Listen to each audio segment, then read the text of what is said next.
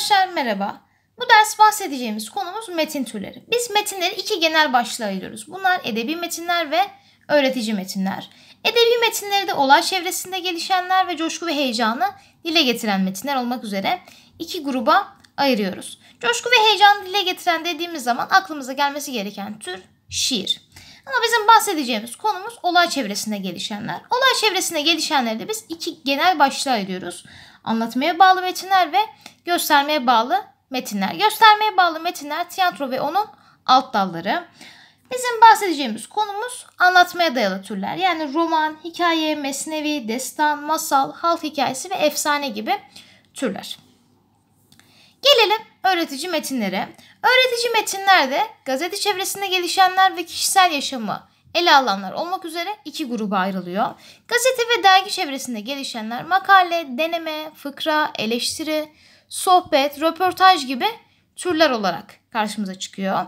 Kişisel yaşamı konu alanlar ise biyografi, otobiyografi, anı, günlük, mektup, gezi yazısı gibi türler.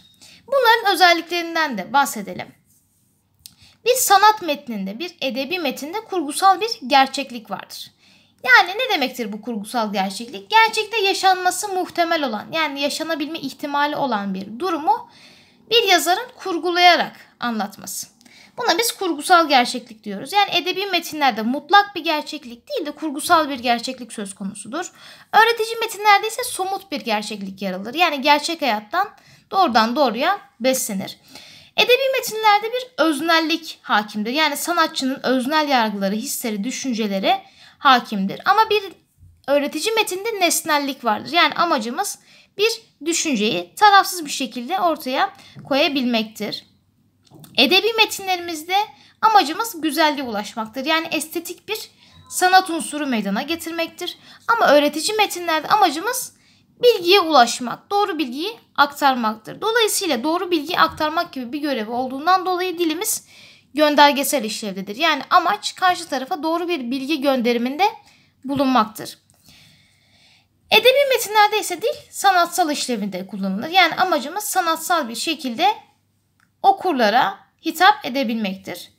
Yine aynı şekilde bu durumdan dolayı edebi metinlerde imgelerle dolu kapalı bir anlatım, sanatsal bir anlatım söz konusudur diyebiliyoruz. Öğretici metinlerle başlayalım. Öğretici metinler dedik ki bir konu hakkında bilgi vermeyi amaçlayan metinlerdir. Mesela tarih hakkında bilgi veren, sebep sonuç ilişkisine dayanan metinler, yine felsefi konularla ilgili bilgi veren metinler ya da bilimsel konularla ilgili bir açıklama yapan metinler biz şu üç metin türünü öğretici metin türü başlığı altında değerlendiriyoruz. Gelelim edebi açıdan bizi ilgilendiren türlere. Gazete çevresinde gelişen metinler dediğimiz zaman bunları türlere ayırmıştık. Makale, deneme, fıkra, sohbet, eleştiri gibi bunlardan ilk olarak makaleyle başlayalım. Makale dediğimiz zaman herhangi bir konuda bilgi vermeyi, bir tezi savunmayı ama bunu bir kanıtlama gayesiyle yapmayı amaçlayan türe biz makale diyoruz. Makale ve deneme birbirine benzeyen türlerdir. Ama denemede bir kanıt gayesi yokken makalede mutlak bir kanıtlama gayesi söz konusudur. Yani bir yazar bir düşünceyi savunuyorsa bunun nereden kaynaklandığını yani bu alıntıyı nereden yaptığını, bunun bilimsel kökenini yazısında kanıtlamak zorundadır. Yani bir kanıt gayesi söz konusudur ki bu en önemli ayırt edici anahtar kelimedir. Bunun dışında herkes makale yazamaz. Yani bir konuda makale yazabilmek için o konuyla ilgili uzmanlaşmış olmak gerekiyor. Mesela bir sağlık konusunda makale yazabilmemiz gerekiyorsa tıp konusunda çalışan bir kişi olmamız. Yani o konu hakkında e, ihtisasını tamamlamış bir kişi olmamız gerekiyor. Diyelim ki tarih konusunda bir makale yazıyoruz. Tarihle ilgili bir çalışmada bulunmamız gerekiyor gibi. Yani herkes her konuda e, bir makale yazamaz. Uzmanlık en önemli anahtar kelimemizdir. Onun dışında amacımız öğretici olmasından dolayı açık olması gerekiyor. Anlaşılır olması gerekiyor ve ciddi bir üslupta bulunması gerekiyor. Bunun dışında konuyla ilgili terimlerle yüklü bir dil söz konusudur. Mesela bir tıp makalesini düşünürsek o konuyla ilgili tabii ki terimler yer alacaktır. Ama bu terimler onun kapalı bir anlatımı olduğunu göstermez. Çünkü makale sadece o alanla ilgilenen insanlara hitap eder. Yani gidip de bir ekonomi alanıyla ilgilenmiyorsak özel bir şekilde bu alan üzerine çalışmıyorsak gidip de bir ekonomi makalesi mesela okumayız. Yani onu okuyan kişiler de o konu hakkında çalışmalarda bulunan kişilerdir. Dolayısıyla dili ağırdır diyemeyiz. Dili açıktır, nettir diyoruz. Çeşitli anlatım tekniklerine başvuruyoruz. Tanımlama, örnekleme, açıklama, tanık gösterme gibi. Ama bunları nereden alıntıladığımızı göstermek durumundayız. Türk Edebiyatı'nda makale dediğimiz zaman Türk Edebiyatı'nda yazılmış olan ilk makale Tanzimat dönemi sanatçımız olan Şinasi'nin Tercüman Ahval gazetesinde yazmış olduğu bir ön söz. Tercüman Ahval mukaddimesi Türk Edebiyatı'nda yazılmış olan ilk makalemizdir ve 1860 yılında yazılmıştır. Edebiyatımızdaki diğer önemli makalelerden de bahsedelim. Mesela Ziya Paşa'nın Şiir ve İnşası, Hüseyin Cahit Yalçın'ın Edebiyat ve Hukuk makalesi, Ömer Seyfettin'in Yeni Lisan makalesi. Bunlar önemli meselelerden bahsetmelerinden dolayı ve edebiyata yeni bir e, durum getirdiklerinden dolayı bizim için önemlidir. Mesela Ziya Paşa'nın şu makalesi divan edebiyatını eleştirip halk edebiyatını övmesi bakımından önemlidir. Sonrasındaki bir şiir kitabı olan Harabat'la bu duruma ters düştüğünü görüyoruz. Yani o yüzden bilinen makalelerden ve soru değeri olan makalelerden bir tanesi. Bir diğeri Hüseyin Cahit Yalçın'ın Edebiyat ve Hukuk makalesi. Bu da Servet-i Fünun dediğimiz yani edebiyatta batılaşmanın esas alındığı bir dönemin son bulmasına ve Servet-i Fünun dergisinin kapanmasına neden olan bir makale olmasından dolayı önemli bir makaledir. Ömer Seyfettin'in Yeni Lisan makalesi de bir edebiyatta yeni bir dönem başlangıcına sebep olan yani edebiyatta dilde, kültürde sade bir dil anlayışını, yerli bir edebiyat anlayışını esas alan bir dönemin başlangıcının manifestosu yani bir bildirisi olma özelliğini taşımasından dolayı önemli bir makalemizdir diyoruz. Bu üç makale bizim için önemli.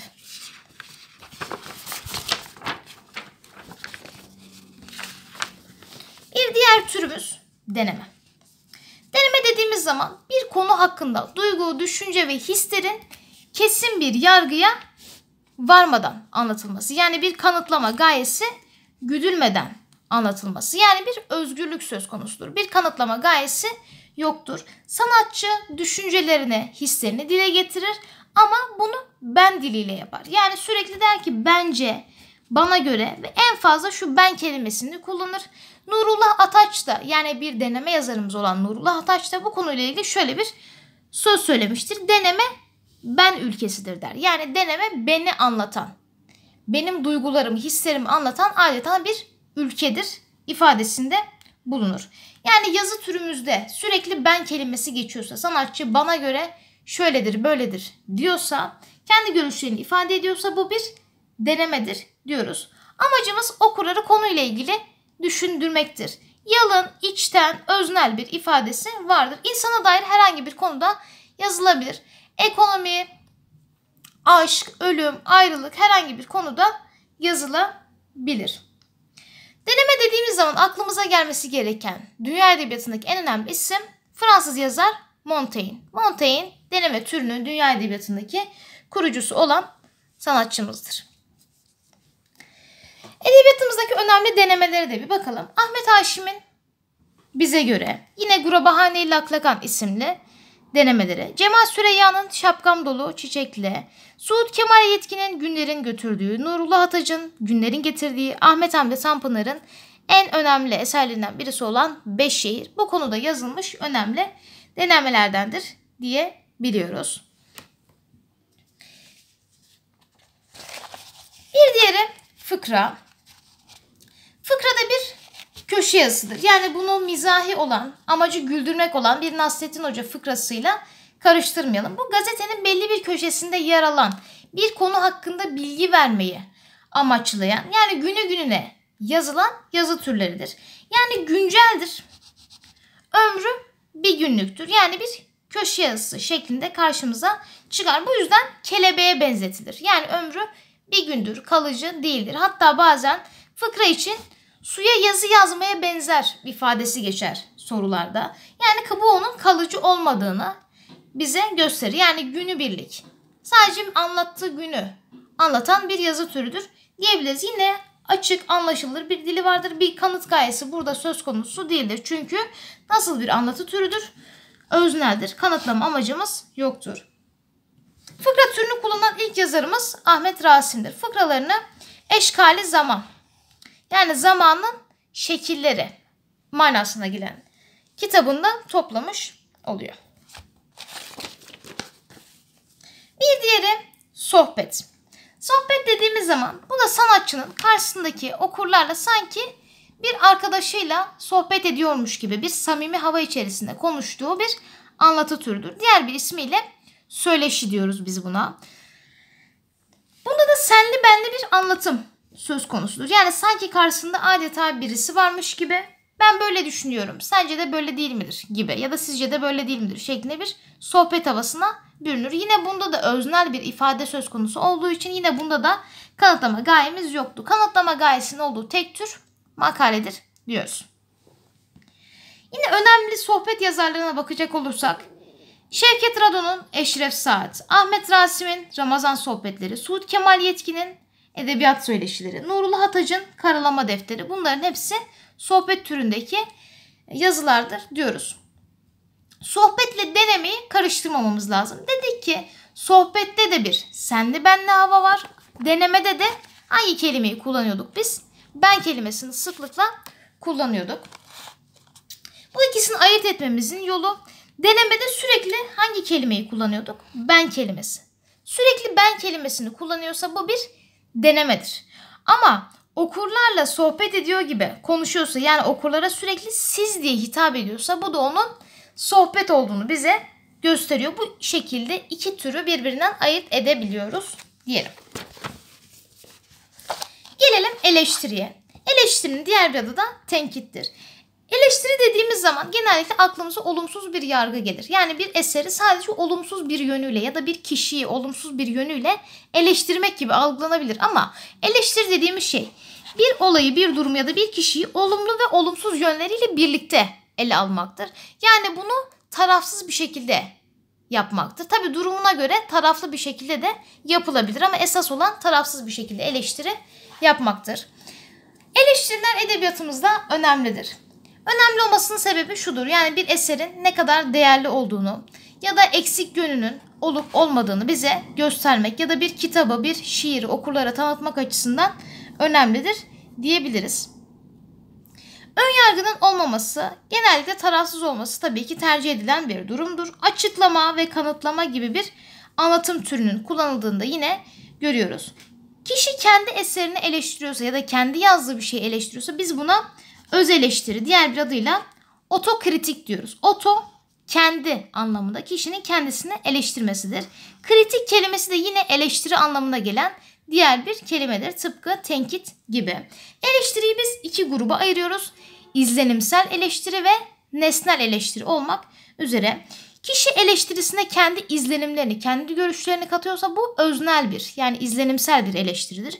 Ama kişi kendi hislerini, duygularını katmıyorsa tarafsız bir şekilde bir standarda bağlı olarak bir kitabı, bir eseri eleştiriyorsa buna da nesnel bir eleştiri diyoruz.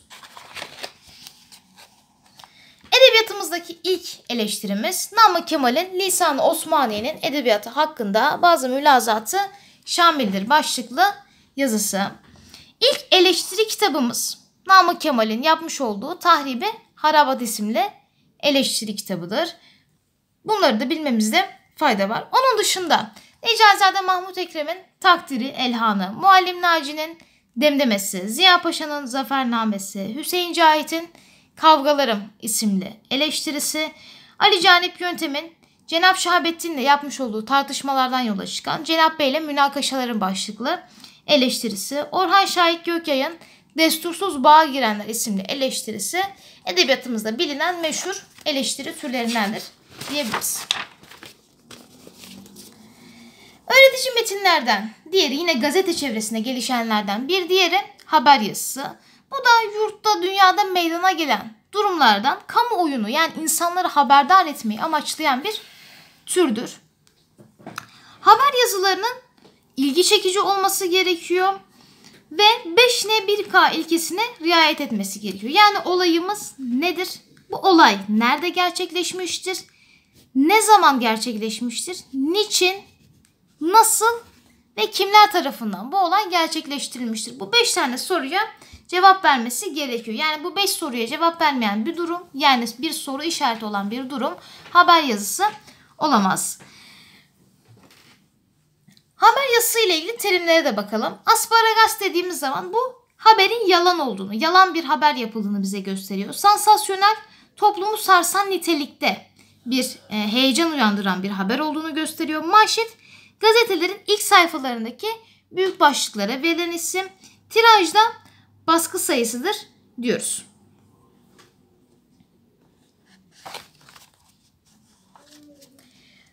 Bir diğer başlığımız röportaj. Bu da herhangi bir olay, kişi ya da yerle ilgili araştırma ve inceleme içeren bir gazete ya da dergi yazısı türüdür. Bu da genellikle güncel olaylarla ilgili araştırma ve incelemeleri ele alıyor. Yine açık, anlaşılır bir dille yazılması gerekiyor. Burada da çeşitli materyaller kullanabiliyoruz. Mesela ses kayıtları, bir film, bir belge, bir fotoğraf karesi bunlar kullanılarak bir inandırıcılık, bir destekleyicilik sağlanmış oluyor. Bir yer, bir eşya, bir insan gibi bir konuyla ilgili de röportajlar mevcuttur. Kitaplaşan bazı önemli röportajlar. Bunları da bilmemizde fayda var. Yaşar Kemal'in bu diyar baştan başa yine Yaşar Kemal'e ait Peribacaları, Çukurova yana yana önemli kitaplaşmış röportajlar. Yine Dursun Akçam'ın Analar ve Çocuklar isimli röportaj kitapları bizim için önemli. Bir diğer türümüz mülakat. Mülakat görüşme anlamındadır. Bir konuyla ilgili önceden hazırlanmış belli başlı sorularla bir görüşmenin gerçekleştirilmesine biz mülakat diyoruz. Bir yazarın konu hakkında tanınan ünlü biriyle karşılıklı soru cevap şeklinde görüşmesi. Önceden bir hazırlık bizim için önemli ve önceden yapılan bir araştırma önemli. Yani hazırlık yapmak en önemli ifadelerden bir tanesi. Soru ve cevap formatından oluştuğunu söyledik.